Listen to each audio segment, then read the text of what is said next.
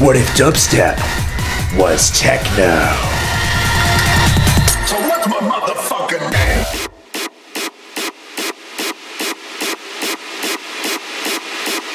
Go!